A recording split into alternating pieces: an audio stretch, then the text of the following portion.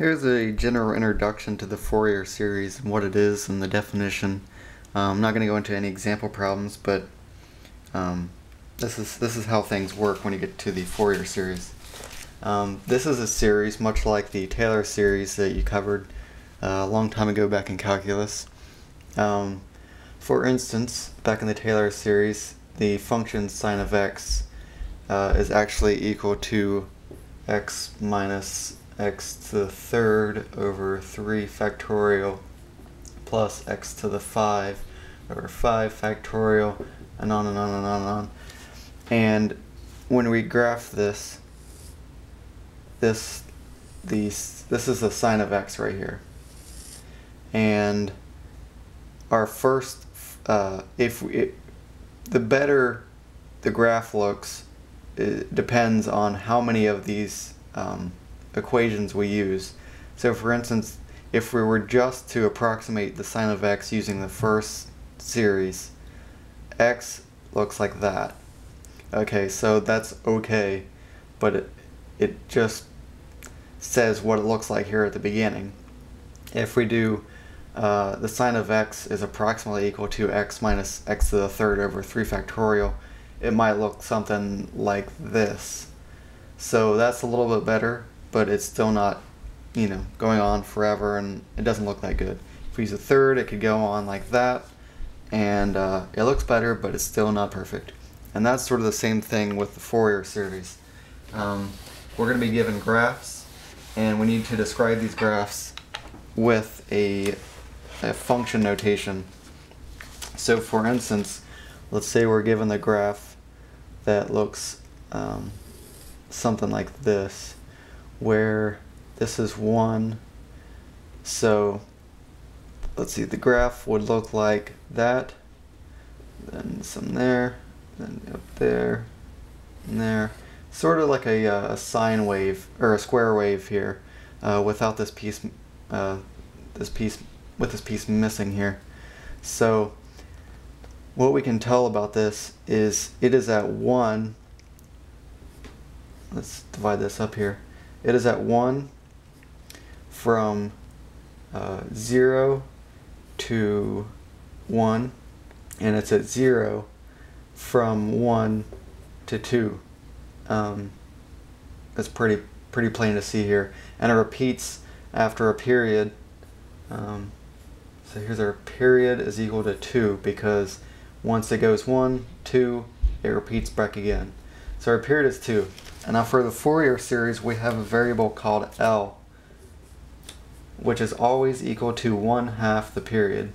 And we'll use that um, in our formulas later on. So in this case, the L would be equal to 1. Okay, so let's get on to uh, what you will see with the Fourier series.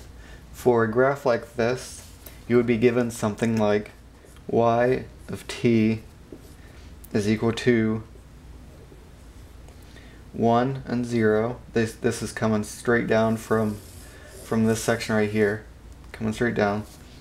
Uh, so it's at 1 from 0 to t 1. So when t, which is this section of the graph, the x-axis, is 0 to 1, we're at 1. That's what this is.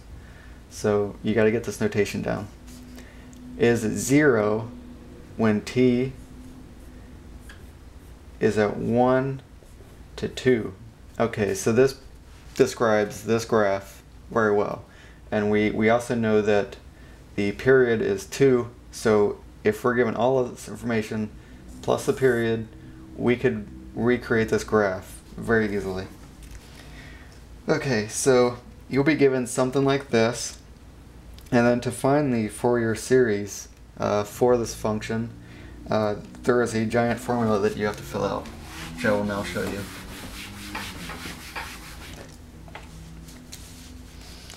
The Fourier uh, series formula looks like this. y of t is equal to a naught or a0 over 2 plus summation uh, n is equal to 1 to infinity. That's just saying it's a series, basically.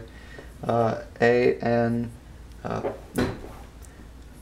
cosine of nt uh, plus bn sine of nt.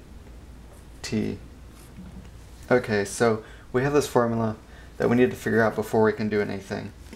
But we don't know what a naught is, we don't know what an is, and we don't know what bn is. So we're given three formulas that we have to plug in numbers to find these numbers.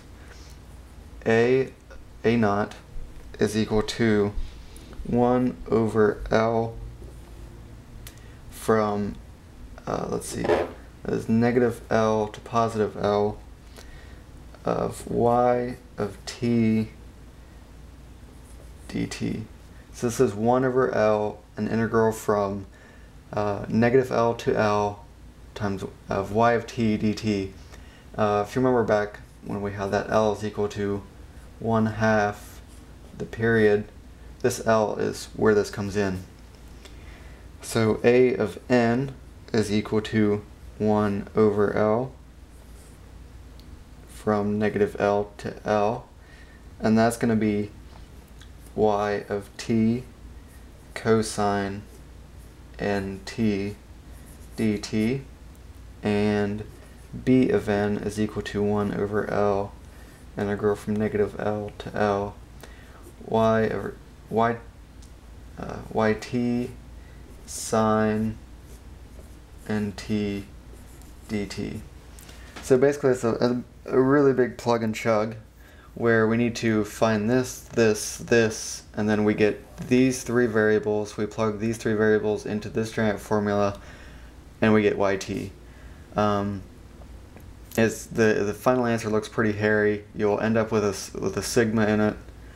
Um, on the bright side, a lot of the times, as you'll see later on, um, some of these can be factored.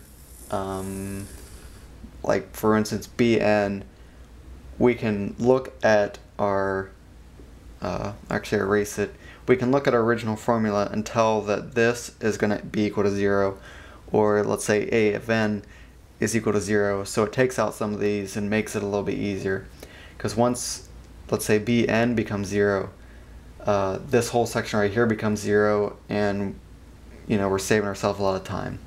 Um, but this is my general intro to the Fourier series, and I'll get to example problems later on.